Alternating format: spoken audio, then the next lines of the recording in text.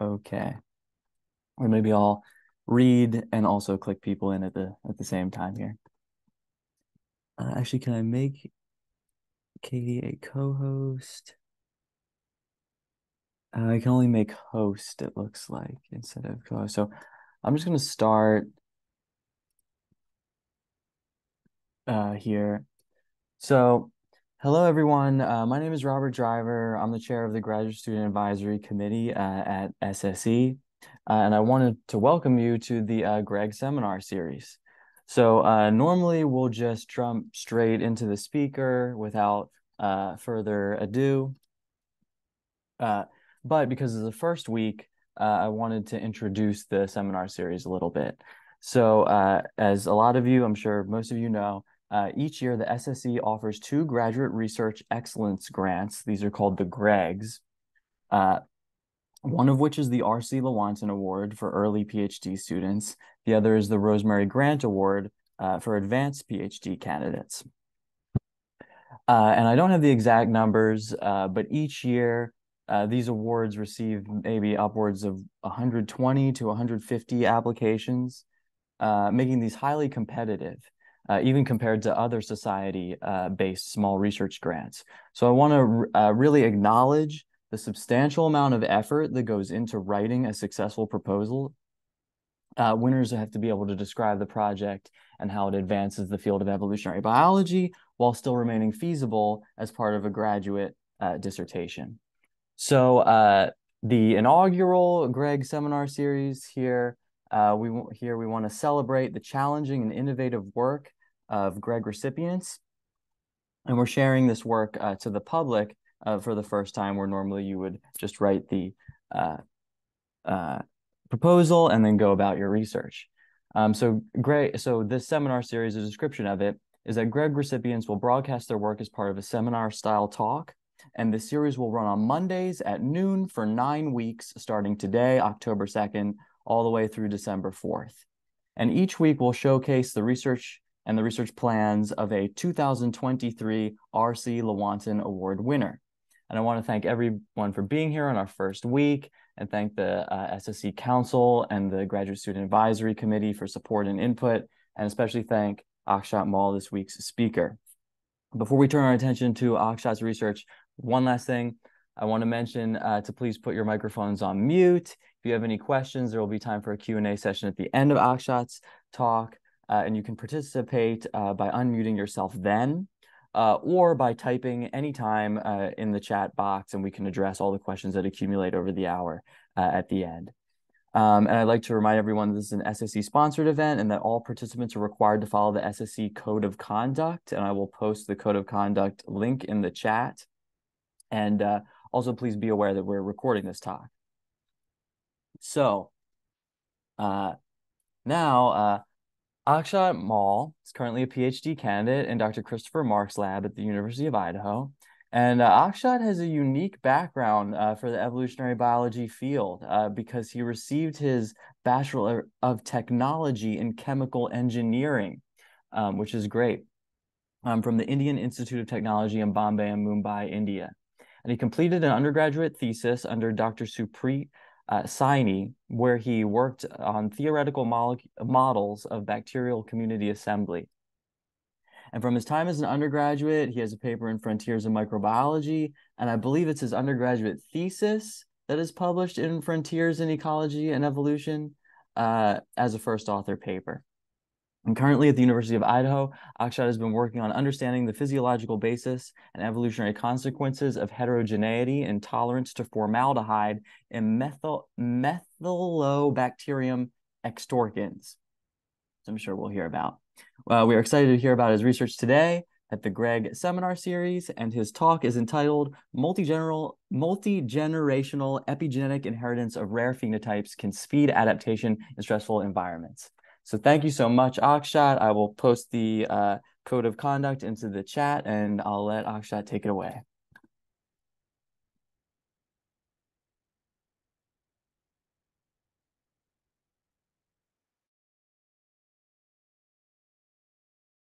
Akshat, you are muted. Thank you. Okay, no problem. Ah, Uh, thank you for the intro, and thank you everyone for joining today. So, so today I'll be talking about epigenetic inheritance and how that can shape evolutionary dynamics in bacterial populations. Uh,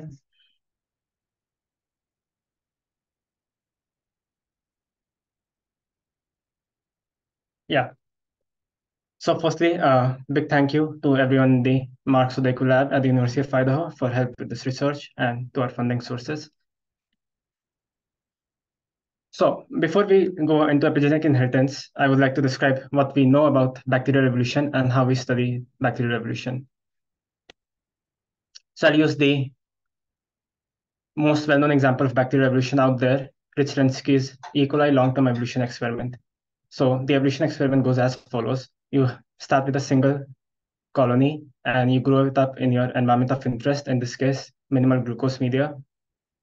You choose a small fraction of cells and transfer that into fresh media every 24 hours, during which they double approximately seven times.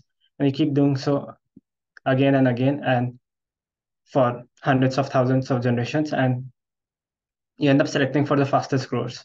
So this has been going on for almost 35 years now. And what do people see? So if you track fitness of the evolved populations, so fitness corresponds to growth rate with respect to the ancestor and over 50,000 generations, we see something like this. The fitness keeps in, increases and keeps increasing with time, and it has been going on for almost 80,000 generations now. So how do populations always keep evolving? So evolution of this fashion is contingent on a supply of beneficial mutations.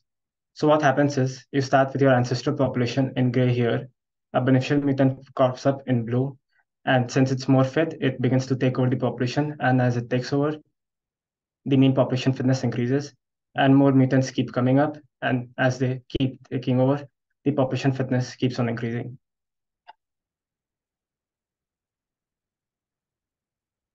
So when does evolution of this sort fail? What are the pitfalls associated with evolution? Evolution is contingent on the supply of beneficial mutations. So we can talk about beneficial mutation supply as population size times the beneficial mutation rate. And at times, neither of those can be sufficient and the populations may suffer from a lack of available beneficial mutations. This can happen in a couple of scenarios. A, when the population sizes are very small, so there aren't any beneficial mutations lying around as the environment changes, or if the population faces a lethal stress and the number of individuals are dying faster than they can replicate. And also when the targets accessible to improve fitness in the environment are very rare and are hard to access. Typically in those situations, beneficial mutation rates are of the order of 10 to negative 8, which means once in every 10 billion cell divisions, you get a beneficial mutation. So what happens if your mutation supply is inefficient, is insufficient? In scenarios like this, when faced with a lethal stress, populations can go extinct. So an example of this comes from Ben Kerr's lab. So consider a bacterial population which is being evolved on rifampicin. And you have three scenarios here. In the first scenario, a population is taken and exposed to the concentration of rifampicin, which is of interest, 100 microgram per mil here. And you are reliant on a pre-existing resistant mutant to be able to survive. In the other two scenarios, the population reaches the same concentration, but it goes through a much more gradual process, going through a large number of dumplings before it reaches the lethal dose of rifampicin. So the question they ask is, in these three treatments, what's the likelihood of the population surviving? So if you had a few hundred populations going through each treatment, what fraction of those will be able to adapt to rifampicin? And what they see is something like this. When directly exposed to rifampicin, most, almost none of the populations were able to make it through and went extinct because they didn't have any beneficial mutations lying around.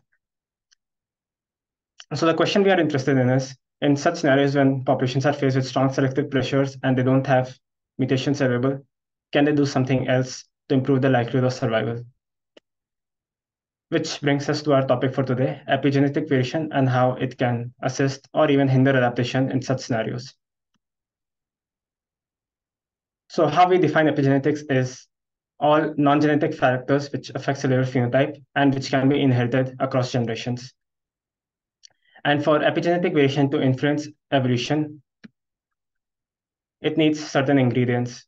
The epigenetic variation must translate to phenotypic variation across individual cells. And not just that, the different phenotypes should have different fitnesses in a certain environment. And those alternate phenotypes should be inherited across all environments. So before going into my system, I'll talk about can we get these three factors from non-genetic sources alone? So non-genetic differences can lead to phenotypic variation in a couple of ways. First, I'll talk about noise in gene expression. So here you have an isogenic population, that is all cells are genetically identical, but just due to noise, no two cells can ever be exactly the same. That is, every protein, every molecule in the cell won't be in the exact same concentration between any two individuals due to just stochasticity. And given the stochasticity, you can get very discrete phenotypes of this sort from continuous variation. So this can happen in the following fashion. You have a distribution of protein concentrations across a population from because of stochasticity. But if the protein is a transcription factor which regulates its own expression, it can lead to a positive feedback loop of this sort that above a certain threshold, the gene is expressed and below a certain threshold, the gene is not, leading to discrete phenotypes of this sort. This forms alternate steady states in the sort that if the protein concentration exceeds that threshold, you fall into a valley and the gene is on and you stay on. And alternately, if it's not, you stay off. The best example of this comes from the lac operon in E. coli.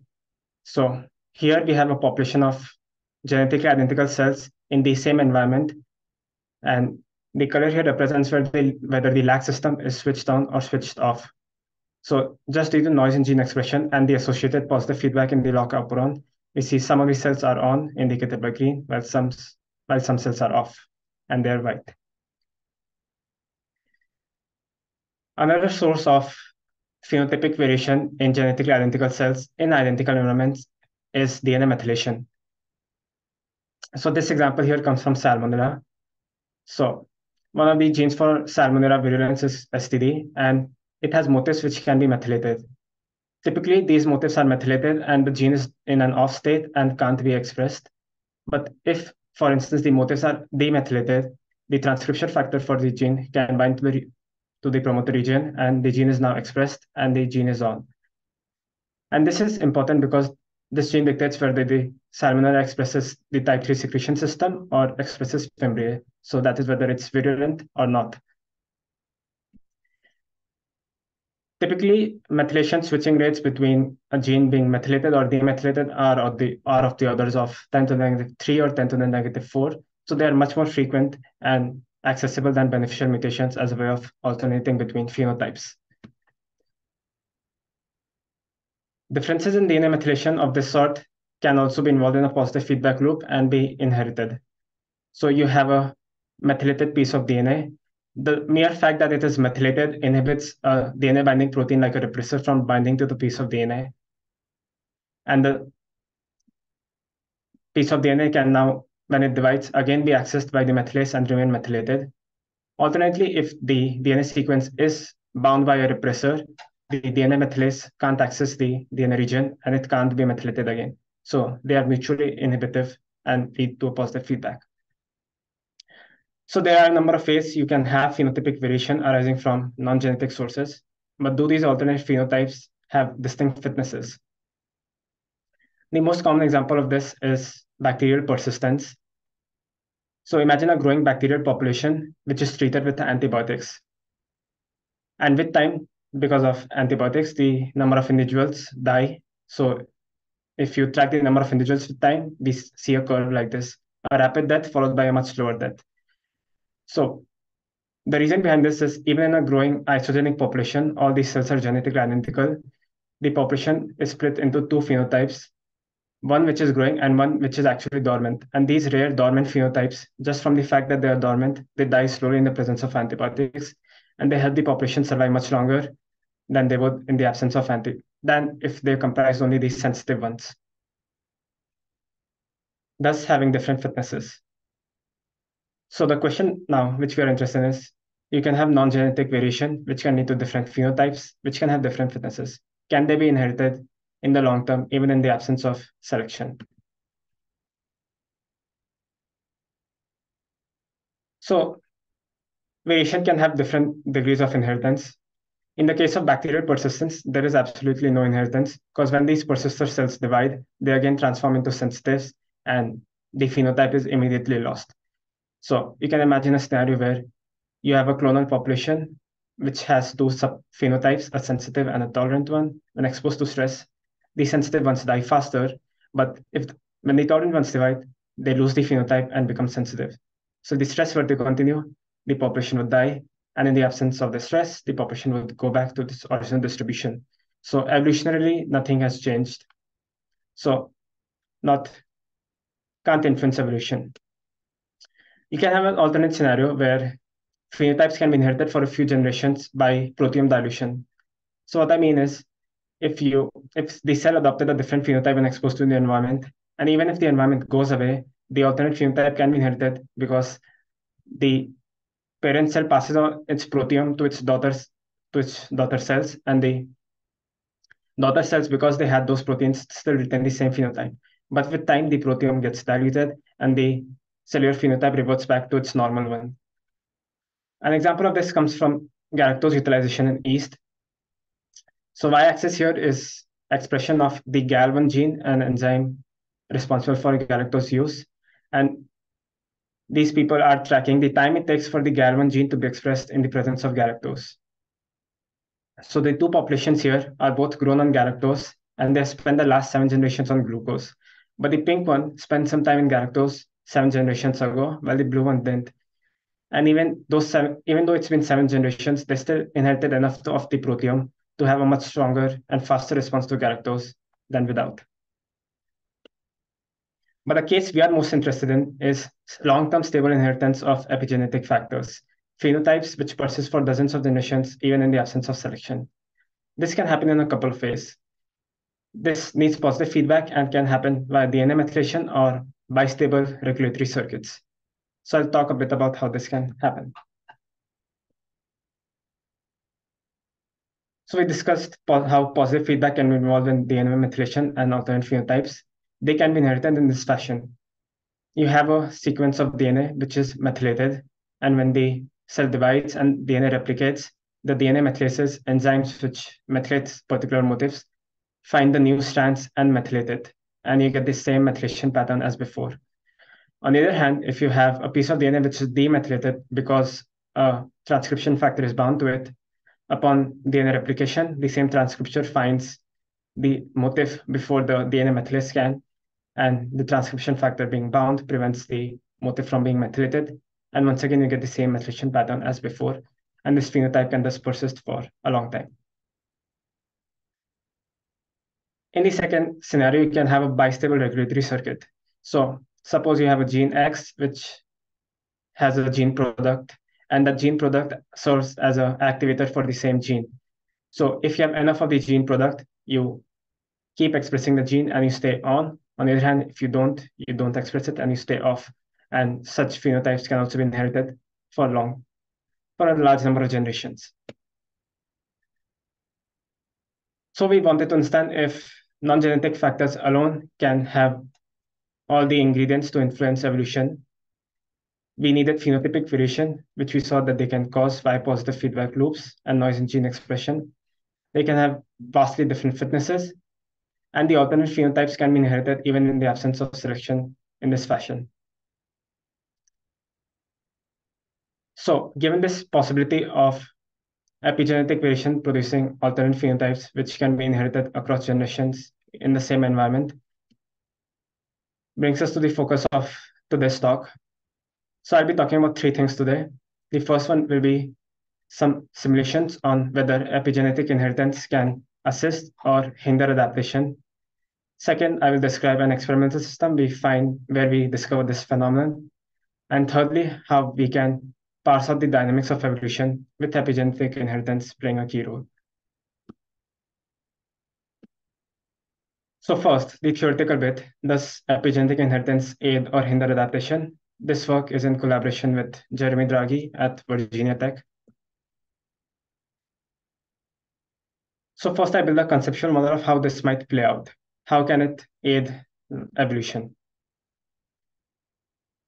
So consider for a given genotype, cells can have two phenotypes, sensitive or tolerant to a given environment.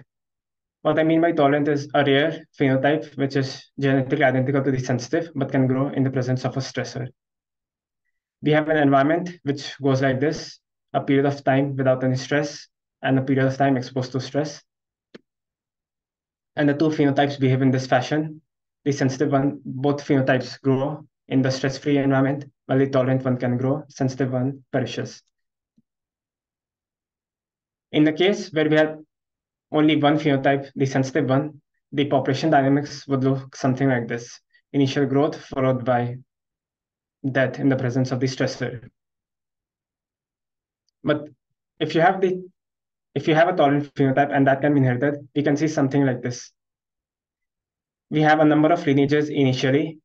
When exposed to the stress, the sensitive ones die, but the tolerant ones are able to survive and keep their phenotype and thus aid adaptation. How can it hinder adaptation? So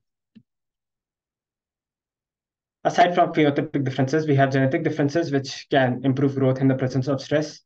So you can have a beneficial mutant and the uh, ancestral genotype can acquire beneficial mutations at some rate. But typically the rate of transitioning between alternate phenotypes is much higher than the rate at which they acquire beneficial mutations. So we can expect to see something of this sort. Initial adaptation driven by tolerant phenotypes because they are more prevalent and easily accessible. But when beneficial mutations do crop up, they can be outcompeted by the tolerant phenotype since they had already reached a higher frequency and these had not, so they were lost due to drift. So it hindered long-term evolution by preventing fixation of a beneficial mutant. So how do we model this scenario? So yeah, we have this possibility that you can adapt either epigenetically by transitioning to a tolerant state or genetically by acquiring mutants, mutations. And under which scenarios is it helpful or detrimental to long-term evolution? So our model is something as follows. Our environment goes in this fashion. Initially, a stress-free environment, followed by an intermediate degree of stress, followed by a lethal dose of stress. And we have the following alleles available to us at time zero, we start with genotype A, which is our wild type. It has two phenotypes. It can be sensitive or tolerant, which can transition between each other at some rates. They can acquire beneficial mutations at some rates, which can acquire, and the beneficial mutant can acquire further beneficial mutations. The fitnesses of our alleles in this environment is as follows. In the stress-free case, everyone is equally fit and can grow very well. In the presence of some degree of stress, the sensitive ones can't, but all the mutants or the tolerant phenotype is able to grow. And in the case of lethal stress, only the double mutant is able to grow, where, uh, whereas everyone else perishes. So given this setting, the question we are interested in is, what is the likelihood of the population being able to make it from the start to the end of the experiment as a function of the degree of inheritance of this tolerant phenotype? So what we're interested in is you have a tolerant phenotype that can either be perfectly inherited or always lost, as in the case of persisters whenever it divides, and something in between. And how does the likelihood of the population surviving vary as a function of the degree of inheritance? So we simulate this for a large number of populations multiple times, and we look at mean values. So what we see is something like this. So the dashed line indicates what would be our expected likelihood of survival if there were no heterogeneity and you were only reliant on beneficial mutations to take you through. So in this case, it would have been around 50%. But if you give the populations the possibility of having alternate phenotypes which are more fit in this environment, we see something like this. We see that some imperfect degree of inheritance maximizes your likelihood of survival. So up to around 0.5, it doesn't really matter whether you have heterogeneity or not. Between some interval, it is incredibly helpful to have heterogeneity and it to be inherited, but perfect inheritance is bad and you do much worse than just the no heterogeneity case, which is slightly perplexing. So why does this happen? So we'll focus on individual allele dynamics for these two cases here, the one where it's much better than the no heterogeneity case, and this case where it's much worse than the no heterogeneity case. So for the red dot, what we see is this. So the individual lines represent the number of individuals for each of these genotypes. So the light blue corresponds to the number of individuals of sensitive, yellow tolerant, cyan mutant 1, dark blue mutant 2. So initially in the stress-free environment, there is some stable coexistence of the sensitive and tolerant phenotype based on how frequently they switch between each other. When exposed to the stress, the tolerant one is more fit and begins to take over the population. At some point, uh, beneficial mutant arises on the tolerant background and it takes over, and a double mutant arises before the environment gets worse and that allows the population to persist towards to the end of the experiment. What happens in the green case where it's much worse than expected than the null expectation? We see something like this. So in the stress-free case, same as before, there is some coexistence of the sensitive and tolerant phenotype. But on exposure to stress, the tolerant phenotype is extremely fit because of its extremely stable inheritance, and it now outcompetes and it and the beneficial mutant has has a much harder time taking over the population and it is much slower. And the fact that it's much slower and it can't get fixed means that the double mutant can never crop up. And by competing with the first mutant and preventing the double mutant from coming up, the population is not able to make it through to the end of the experiment.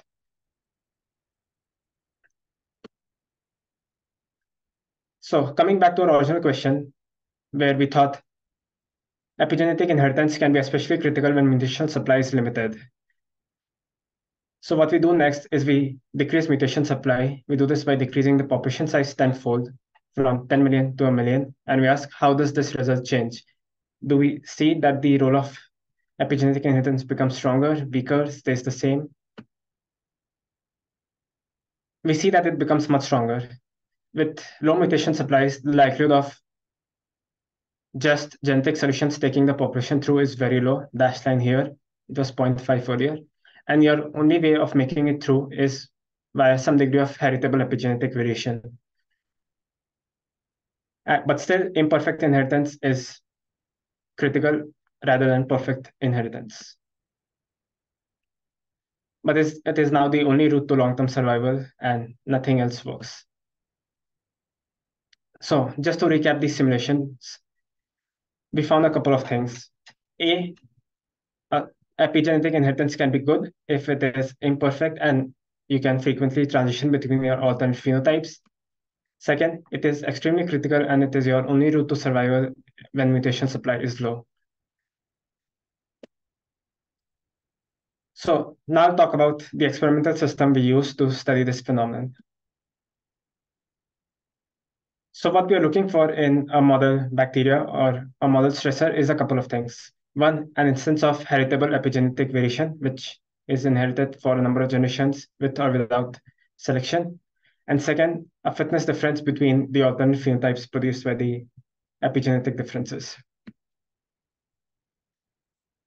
So our model system is methylobacterium extorquens in the face of formaldehyde stress. So methylobacterium is a member of the plant microbiome and a very dominant member. So if we take a leaf of a plant and we stamp it on an agar pad, we get Methylobacterium pink colonies of this sort. It's a methylotroph, which means it grows on one carbon compounds like methanol, as well as some multi-carbon compounds like succinate. For this work, we'll mostly be focused on growth on methanol or succinate as carbon sources. So where does formaldehyde stress come into the picture? When methylobacterium grows on one carbon compounds like methanol, it involves producing tox formaldehyde as an intermediate, and formaldehyde, as many of you might know, is incredibly toxic. So a lot of work done in this section, a lot of work in this section was done by Jessica Lee and Shia Vaz. So one of the results they found is if you take methylobacterium populations and expose them to formaldehyde and you track number of viable cells with time, they die very rapidly. So you see decreasing viability with time. So formaldehyde is toxic if it is present externally outside there in their external environment. So how do they deal with the formaldehyde? So the first thing the lab did, this was done by Dipti and Jannell, they evolved populations on formaldehyde for 150 generations and wanted to know how can they adapt to formaldehyde. So they discovered a gene named EFGA and losing function of that gene enabled growth on high levels of formaldehyde. And they discovered that the gene product of EFGA is a formaldehyde sensor, which inhibits translation upon sensing formaldehyde. So there exist genetic solutions to deal with formaldehyde if it is around. So what happens if you try to grow populations on high levels of formaldehyde? So here you have optical density with time. Optical density indicate is a proxy for the number of cells with time. So if you grow on methanol without any formaldehyde, you see nice, clean exponential growth, rapid growth within 24 hours. But you have 4 millimoles formaldehyde around in the environment, you see a very long lag followed by exponential growth with almost the same rate. So given we knew that there are genetic solutions to formaldehyde, the first most obvious explanation is there's a small subpopulation of the cells which grows in the presence of formaldehyde and because they're genetically different and they were able to allow the population to survive. So we sequenced both of these populations and we found that they were genetically identical. So these this population which took a long time to grow and comprised of only a small subpopulation which was able to grow, it was genetically identical to the ancestor. So not a mutant. We also did RNA-seq on these two populations, and we found that they had a slightly different transcriptome. Six operons were differentially expressed, but critically, none of these operons which were differentially expressed were involved in formaldehyde metabolism. One carbon metabolism, that is metabolism which requires going through formaldehyde as an intermediate. So which was surprising. So which brings us to the question, if they're genetically identical and they behave differently, is this due to phenotypic heterogeneity alone. That is, do cells behave differently even though in the same environment, even if they are genetically identical. So to test that, we did this experiment. We take a clonal population and we plate them out on different concentrations of formaldehyde. So zero millimoles, two millimoles, four, six millimoles, and so on. So if the population is homogeneous and all individuals in the population behave identically, you would expect to see something like this. There would be some inhibitory concentration of formaldehyde beyond which growth would not be possible. Below that concentration, all of these cells would grow and we would see the same number of viable cells on each plate. Above that concentration in this hypothetical figure, somewhere between two and three, none of these cells would grow. What we see was something different. We saw a large continuous variation in the population's ability to deal with formaldehyde. So in the case of no formaldehyde, stress-free environment, that provides a estimate of the number of viable cells in the population. Increasing formaldehyde, we see that the number of viable cells decreases. For 2 millimole here, it's like 1 in 100, 1 in 1,000, 1 in 10,000, and so on. So only a small fraction of cells were able to tolerate increasing concentrations of formaldehyde. But they were genetically identical. So heterogeneity from epigenetic factors. Another result discovered by Jessica was this. Your environment. So another thing that interested, since growth on methanol requires using formaldehyde as an intermediate, is this heterogeneity just due to difference in methanol ox formaldehyde oxidation capacities. So to test that, we have a different experiment we wanted to check if your environmental history impacts your tolerance to formaldehyde. So you're either in originally grown on methanol as a carbon source or succinate as a carbon source, and then tested for performance of formaldehyde. So why we are interested in this is because growth on methanol requires using formaldehyde as an intermediate. And in that case, your formaldehyde oxidation enzymes, concentration of those enzymes are almost tenfold higher than just on succinate. So we expected to see a difference, and which is what we find. So if, again, if we track number of viable cells as a function of formaldehyde concentration, the methanol figure is same as the one I showed you before. For the succinate, we see a remarkably less tolerant population. But again, surprisingly, we see a large continuous variation. A large number of cells behave het heterogeneously, different from the most of the population. Most of the cells can't take any formaldehyde, whereas some rare cells can. And again, they're genetically identical. And the difference is not just in formaldehyde oxidation, as shown by RNA-seq. So we have discovered an instance of epigenetic variation in tolerance to formaldehyde in Methylobacterium. So variation has different phenotypes in a given environment. Is this phenotype heritable? Because that's what we need to fulfill our criteria. And we find that it is heritable. So to test that, we do something like this. We start with a naive population which has never seen formaldehyde. We expose it to 4 millimolar formaldehyde, thus selecting for those rare tolerant subpopulations. And then we grow them on formaldehyde-free, stress-free media, just succinate for a different number of generations, either two generations, four generations, six generations, eight generations, 10 generations, or so on. And we ask, what fraction of these cells remain tolerant after spending some time without the stressor? We see something like this, that tolerance is stably inherited for multiple generations, even in the absence of stress. So before exposure to stress, in this case, one in a million cells were tolerant to 3 millimoles formaldehyde. When you select for growth on formaldehyde, you select for that rare tolerant subpopulation, and everyone you get is tolerant. After four generations on succinate, we saw a slight decrease. Only one in 10, pop, uh, one tenth of the population is tolerant. At this point, what we were expected to see a exponential decrease like this because the cells keep losing the enzymes and the protein keeps getting diluted. But surprisingly, we see that the fraction of cells which were tolerant stabilized around 10% with time. So why is this the case? So next what we do, what I do is I take populations from say four generations on succinate, regrow them on methanol. Again, no formaldehyde around. And surprisingly, we see that the population bounces back and they, all of the cells recover their tolerance. And all of the 100% of the population is now tolerant to formaldehyde, even though it spent four generations and six generations, 10 generations away from distress. So I repeat this for all these instances and growing that up on given number of generations on succinate and then transferring to methanol and see if all of them bounce back to retain their regain their tolerance. And we see that that is the case. Once exposed and selected for, the tolerant phenotype is stably maintained.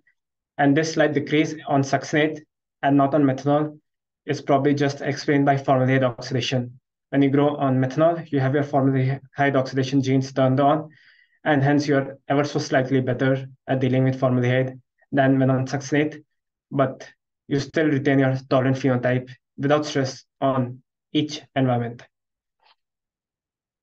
So cycling back to our original question, uh, sorry. So we kept this going for almost 90 generations on just succinate, and then we checked what fraction of the cells are still tolerant. And surprisingly, we saw that populations remember their tolerance to formaldehyde even after 90 generations on succinate without any selection on formaldehyde. We are currently sequencing these populations to confirm that even after this time scale, they are genetically identical to the ancestor. So I talked about how we can have genetic solutions to formaldehyde, but initial growth is driven by rare tolerant phenotypes, which are epigenetically different but genetically identical. So how do these two solutions compare to each other? You have a mutant, loss of function in EFGA, and what we see is that the mutant is slightly more fit than the tolerant wild type, and both of them are much, much more fit than the sensitive wild type, which just dies. So cycling back to our original thought, can epigenetic variation influence evolution? So we needed a few things. We needed phenotypic variation. in this system, we have phenotypic variation in tolerance to formaldehyde. We need the alternate phenotypes to have strong fitness differences, and we see that the tolerant phenotype is performs much better than the sensitive phenotype. And we need a stable long-term inheritance of the two phenotypes, even in the absence of stress. And again, we see stable long-term inheritance in the absence of selection to formaldehyde. So given we have all the ingredients we wanted, how does evolution play out with epigenetic differences playing a major role? We have two paths here. A, can we demonstrate that you can have evolution driven by purely epigenetic variation and what do the dynamics look like? So before going into experiment, let's rewind and talk about how we typically study adaptation to a stressful environment. So when exposed to a stressful environment, so suppose you're starting from a given genotype, you have a genetic space, and initially population start from a given genotype. When exposed to selection, the populations traverse the genetic space looking for more fit beneficial mutants and fit genotypes which improve their fitness. They find one which corresponds to different phenotype, higher fitness, and that genotype is selected for. And what we end up seeing is something like this. With time, fitness keeps on increasing as with the Lenski experiments. So what do the dynamics of adaptation look like? Something like this. So you have a large number of lineages initially, most of which are genetically identical. When exposed to stress, some of the rare beneficial alleles, they begin to increase in frequency and one of them takes over. And since they increase in frequency and take over the population, fitness increases.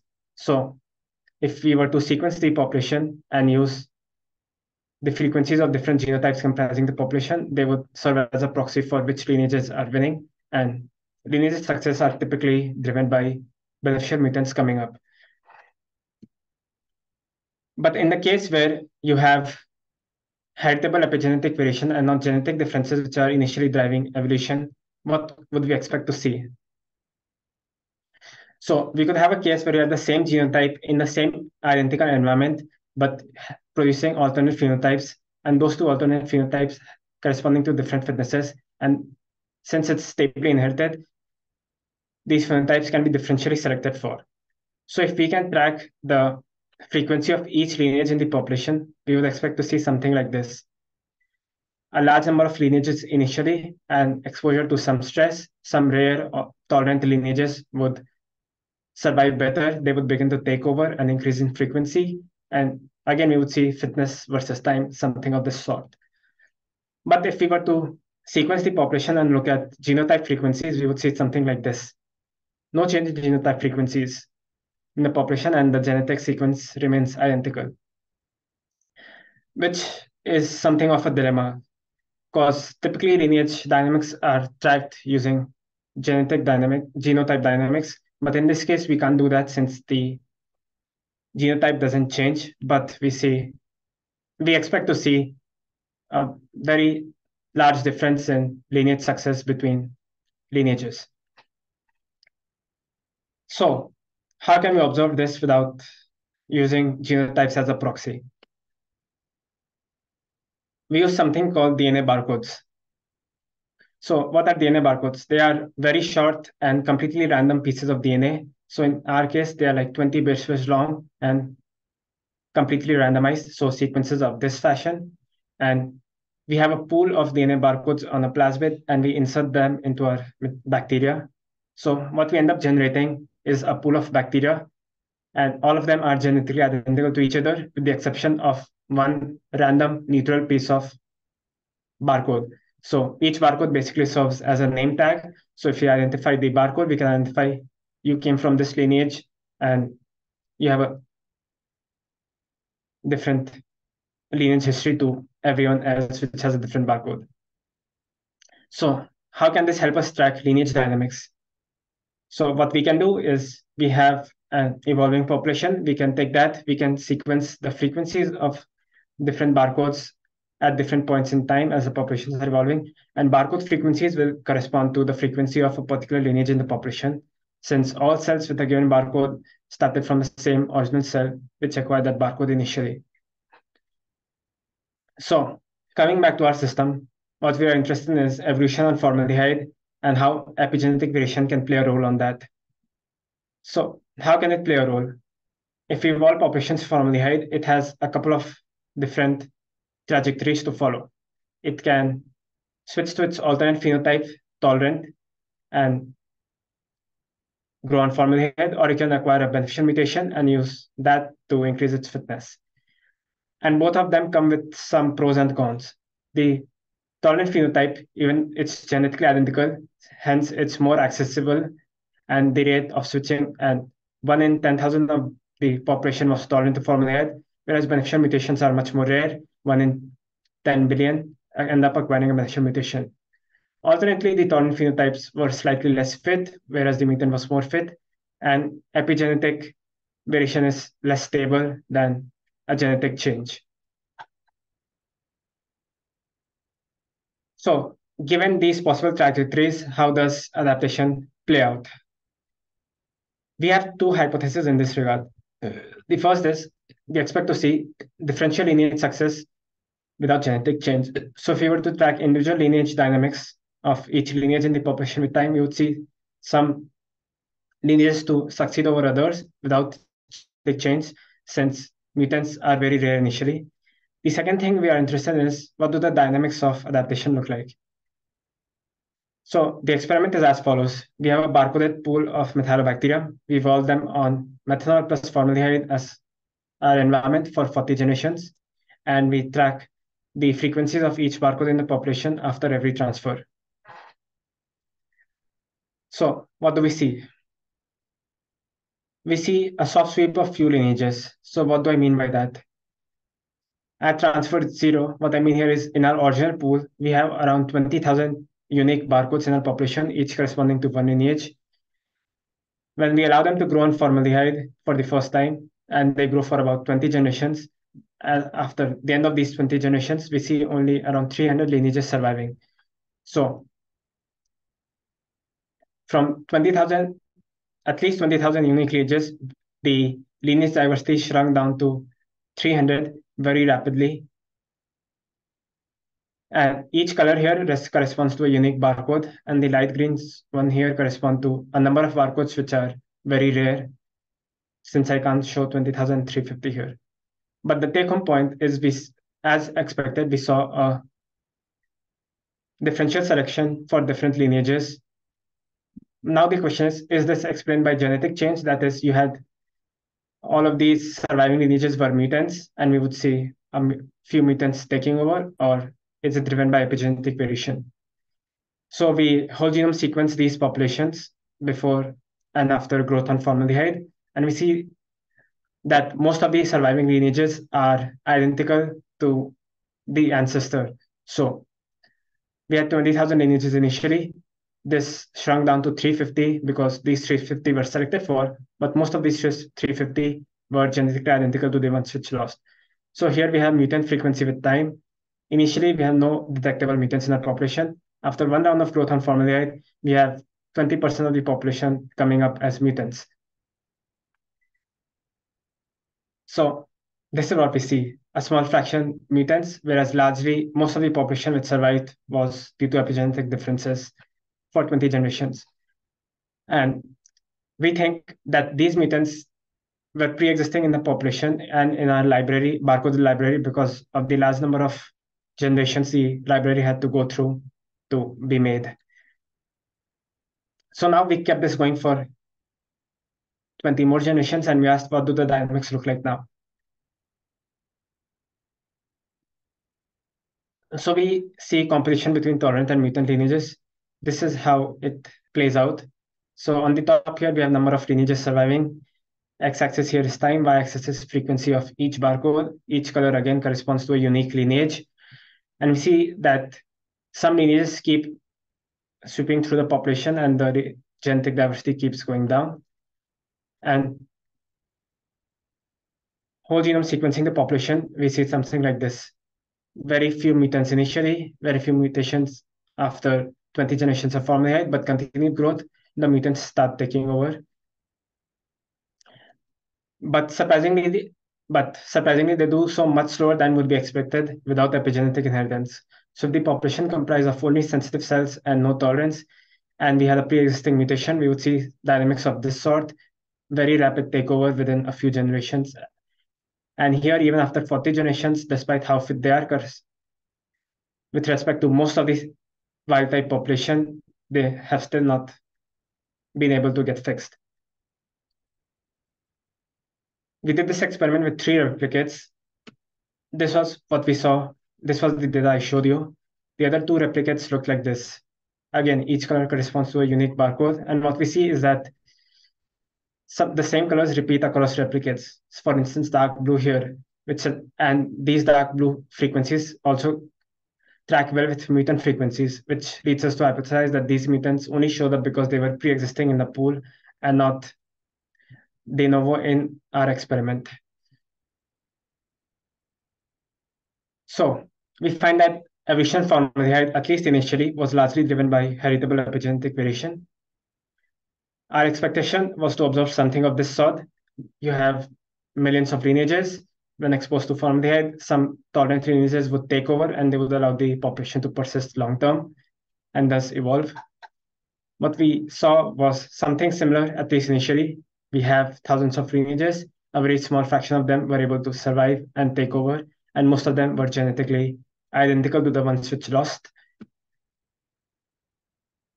And these lineage dynamics, the initial ones, can't be explained purely by mutant success.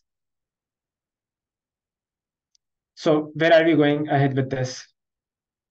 So we are interested in a couple of things. One is evolution with smaller populations on formaldehyde so that we can weed out pre-existing mutations and see how de novo evolution takes place, both genetic and epigenetic. A second thing is if you have the possibility of long-term epigenetic inheritance and you can have a genotype producing alternate phenotypes and alternate fitnesses, how does this affect your evolvability and genetic trajectories if you start with a population which can switch epigenetically or a mutant population? Can these two lead to different adaptive paths being followed in your genetic landscape? We are also interested in better understanding what's the mechanism of tolerance and inheritance, tolerance to formaldehyde and inheritance of the phenotype. For that, we are doing sequencing methylome of these populations using RNA-seq to understand what helps them remember and regulating the differentially expressed genes we find. Thank you.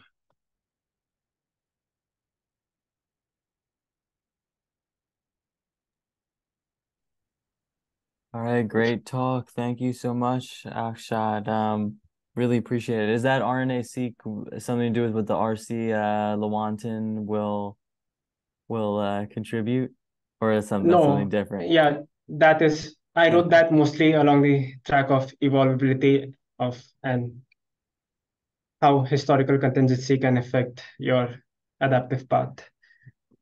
Cool, cool. Just wondering. Yeah, um, so I hope everyone enjoyed uh, that talk as much as I did. Um, uh, if anyone would like to have any questions, uh, you can type them in the chat or turn your video or uh, uh, microphone on. So uh, you can also raise your hand as Deepa has done here. So we'll we'll start out with uh, Deepa. Hi, um, hi, Akshat. Uh, really interesting work. I was curious uh, what happens without any selection in your last um, last part of your talk. Do you have that? Because um, I'd expect that there would also be some lineage loss just by drift. Yes. Uh, hi, Deepa. Nice to talk to you again. Great question. Um, we do have the data. I haven't shown it here. So we evolved them just on methanol, the barcoded pool for the same number of generations. And we saw very little lineage loss due to drift. So we started with 20,000 detectable lineages. We ended up with around 14,000 or so by the end of the experiment.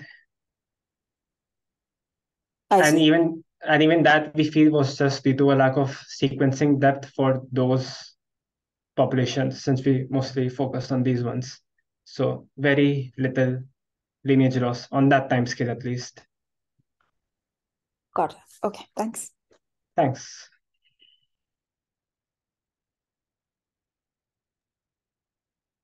All right, many people are clapping in the in the chat here. Um, uh, I had a question about uh, part two, where you said that the bacteria can remember, quote unquote, for 90 uh, generations. Yeah. Is that because you ran it through 90 generations and you just concluded, okay, they can remember, or did something happen at 90 generations? Uh, let's see. Can I go back?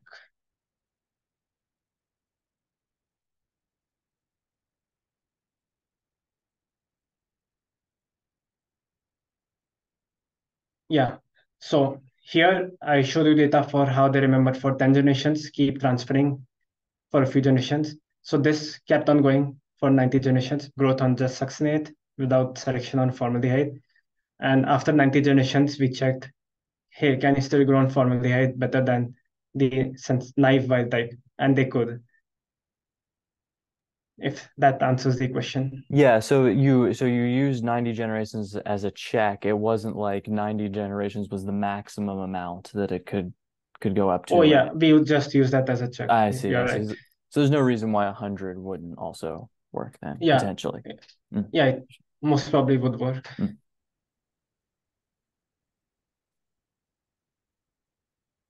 I have a question. Yes. Hi, Shavash. Hi, Akshat. How are you? So, uh, what we observed was that um, the initial distribution of the Methylobacterium on succinate after removing the tolerance, uh, uh, sorry, the formaldehyde stress uh, was shifted toward the low tolerance one. And this is something that we modeled with advection term in the model. But what you showed me is that actually after generations of not being um, exposed to the formaldehyde stress, still it keeps that tolerance level. So that was very interesting. in contrast to what I, at least we observed, do you know what's going on there? Do we know? No. Can we Is throw it darts? Yes. Yeah, yeah, yeah. Okay. So we think that this initial loss, which you model, is just due to the formaldehyde oxidation enzymes getting diluted out so after one generation, you lost half your enzymes. After two, you lost four. Well, four you, your enzymes became one fourth of what you had, and so on, and you reached your steady state succinate level. But some phenotype which helped you gain tolerance, that still remains switched on. So the tolerance distributions we see are a combination of both formaldehyde oxidation and tolerance to formaldehyde as a stressor. So you lose the oxidation part of it, but you keep the stress response part of it turned on and hence they stay switched on. So tolerance is more or less a discrete state, not a continuous one. Mm-hmm. Thank you. Yeah, thank you for the question. All right, and uh, Jessica Lee has a question in the chat. She says, uh, awesome talk. Uh, and her question is, uh, you mentioned that the loss of lineage diversity on formaldehyde is much slower than you would expect it to be if epigenetics weren't competing with genetic mutations. How do you predict how fast lineage diversity loss would be without the competition by epigenetics? That's a great question. I would like to know as well. Yeah. Okay, so the question is this, where is my mouse? This is the loss of lineage diversity we see.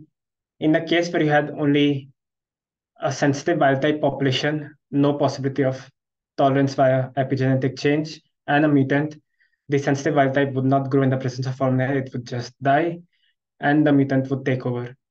So depends on how long you were suspended on formaldehyde and the death rate of sensitive wild type and growth rate of the mutant. You have the mutant increasing in number and the wild type dying out. So if the formaldehyde is continuous and persists, the only outcome is after one round of growth, the mutant will be the only surviving lineage in the population.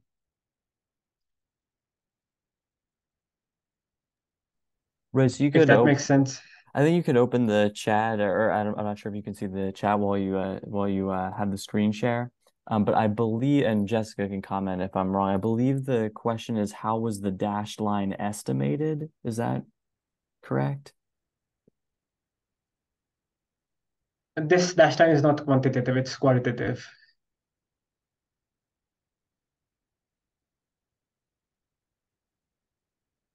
Right. What uh, I don't want to mischaracterize the question, but okay, she says got it. okay. Yeah. Um, okay. So, and then uh, we will end uh, on on a question from another question from Deepa here in the in the uh, chat. Um, in the simulations, you assumed completely independent modes of tolerance versus genetic mutation. Could these evolve? Could these involve similar pathways? For example, one might expect for formaldehyde. In other words, could genotype B still be able to retain the tolerance modeled in genotype A? Does that make sense? It does. Oh, great question. Mhm. One of the key things we have to debate over. So the question is, there's some mechanism by which sensitive cells become tolerant, and there's some mechanism by which they gain resistance per se. Are the two mechanisms independent or are they different or are they the same, if I understand it correctly? So in the model, we assume they are the same mechanism. So if you get tolerant and then you acquire a beneficial mutation, your phenotype is just the phenotype of this mutant, nothing to do with your epigenetic state you had previously. But we could totally imagine a scenario where the two are different. So you can have a beneficial mutant coming up as well as some epigenetic variation in that genotype, which can lead to more complex, interesting dynamics. Why this was done, this model is just a preliminary one, and this is just for convenience, easiest to model. No biological reason it can't be dependent on each other.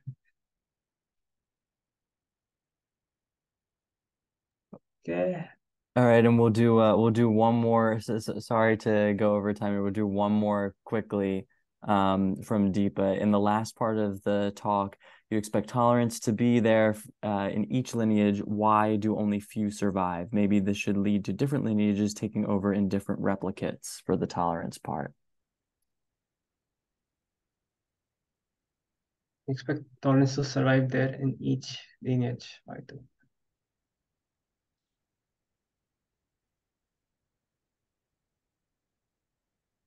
Yes.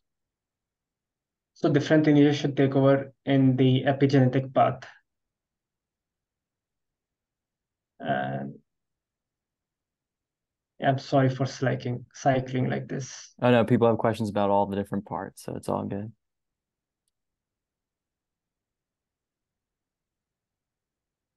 Okay, so the green region here, the black region here, and the pink region here are the epigenetic paths. So the question is, are the lineages which survive here the same or are they different? Why do only a few survive? Only a few survive because we think only very few lineages are able to transition to the alternate phenotype across all populations. Hence, and most of them don't, and the sensitive phenotype dies. Hence, the loss of lineage diversity. And in the epigenetic path, yes, the lineages which survive are very different. So different set of barcodes here, different barcodes here, and different barcodes here. So they were not common, if that answers your question.